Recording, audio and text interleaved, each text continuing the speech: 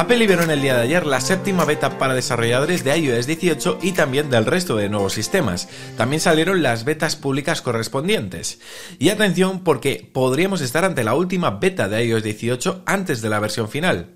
No lo digo yo, lo dice Mark Gurman y bueno, podría tener sentido si nos ceñimos al número de compilación de esta versión. Pero antes de repasar las novedades que hemos podido encontrar en esta séptima beta de iOS 18, me gustaría recordar que en la beta anterior Apple añadió el controlador del Bluetooth al centro de control para poder activarlo y desactivarlo de forma independiente. También hizo algunos pequeños ajustes en lo que se refiere a la interfaz de la nueva aplicación de fotos. Dentro de la app de teléfono eliminaron el botón de llamada en la lista de contactos de la pestaña recientes, por lo que ahora al tocar la ficha de un contacto se llama directamente a este. Y quizás la novedad más importante la encontramos en lo que se refiere a la personalización de nuestra pantalla de inicio, ya que cuando elijamos la opción de tintar los iconos de nuestra pantalla, el primer color que cogerá de referencia será el de nuestro fondo de pantalla.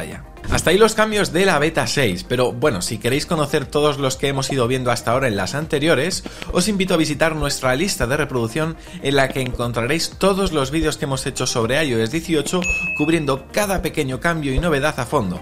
Os dejaré el link con una tarjetita por aquí arriba. Ahora sí, hablemos de esta séptima beta de iOS 18. Empecemos revisando el número de compilación que en esta beta es más importante que nunca. Este es el 22A5346A.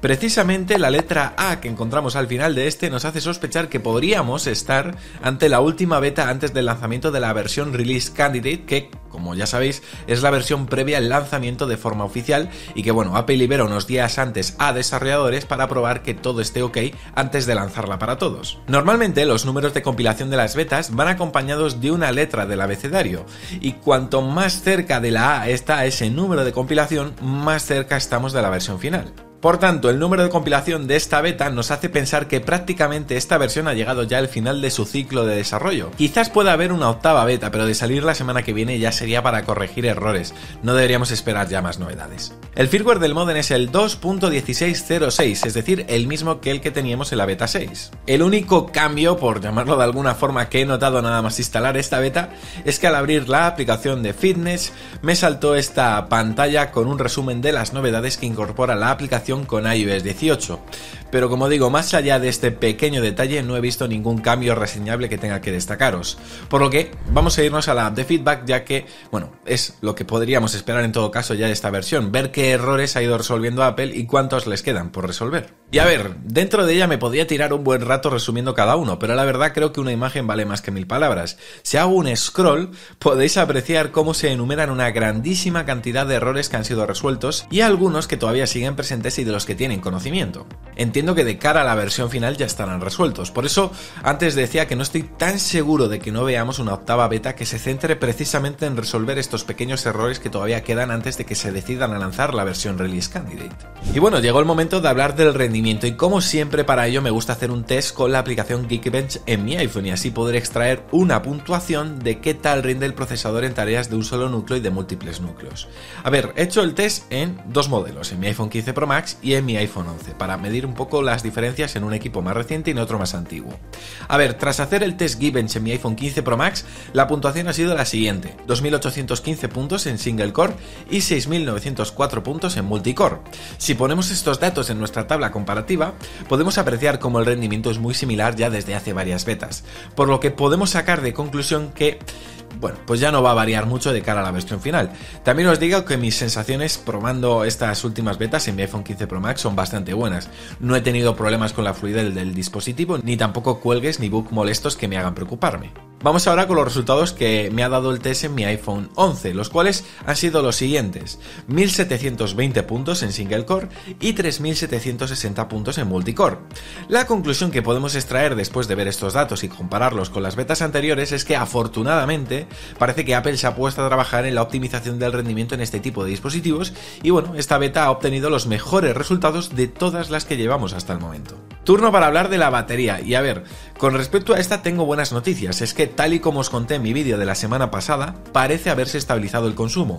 Con la beta 6 durante estos días, este se ha mantenido bastante estable con un consumo medio de en torno al 75 u 80%, incluso algunos días menos, lo cual no está nada mal teniendo en cuenta que hace unas cuantas betas prácticamente mi iPhone consumía el 100% de la batería al final del día. Así que, bueno, podría decir que estoy relativamente contento en este aspecto. Y con esto amigos llegamos al final del vídeo y quién sabe si también a la última beta antes de la Release Candidate, que será la versión de lanzamiento que Apple lanzará unos días antes a los desarrolladores, como decía, para probar que todo funcione correctamente.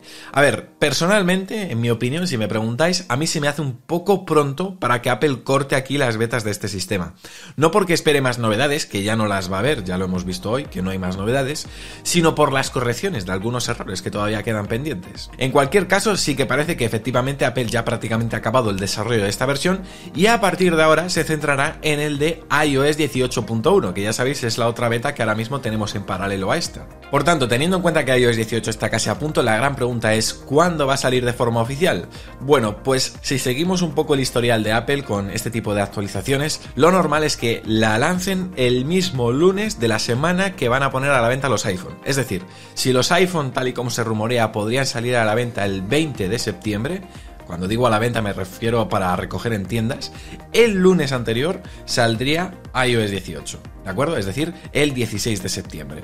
Pero bueno, Veremos si se van confirmando las fechas. Entiendo que la próxima semana Apple ya va a hacer oficial la fecha del evento de presentación, así que ya saldremos de dudas. En cualquier caso, aquí os mantendremos informados con cualquier novedad al respecto, así que ya sabéis, si os ha gustado este vídeo, podéis darle un gran me gusta, suscribiros al canal para no perderos ninguno de nuestros vídeos, también activar las notificaciones para que YouTube os avise, y por mi parte nada más. Os invitaría también a que, si os gusta nuestro trabajo y queréis apoyarnos para que podamos seguir haciéndolo por mucho tiempo, os animamos a que visitéis lamanzanamordida.com y os suscribáis a La Manzana Mordida Plus, donde encontraréis un podcast exclusivo que publicamos cada semana tanto en formato audio como en formato vídeo. Encontraréis también cursos exclusivos, acceso a nuestra comunidad de Telegram para poder interactuar con el resto de suscriptores y también con nosotros y por supuesto podréis llevaros regalos como el de esta suscripción a un año a los servicios de Apple con el paquete de Apple One que regalaremos dentro de unas semanas a uno de nuestros suscriptores. Así que nada amigos, hasta aquí el vídeo, os dejo por aquí otros vídeos recomendados y nos vemos mañana con más porque ya sabéis, somos la manzana mordida y prometemos hacerlo. Chao.